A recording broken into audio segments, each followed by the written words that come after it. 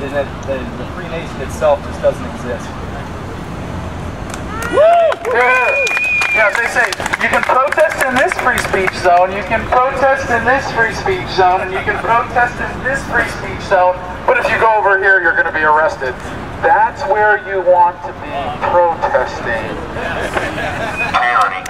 But Adam, I heard that there was a document that this is all supposed to be free Hey, speech.